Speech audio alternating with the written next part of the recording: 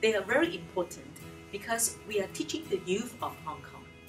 We need to embed our creativity and imaginations into the teaching content.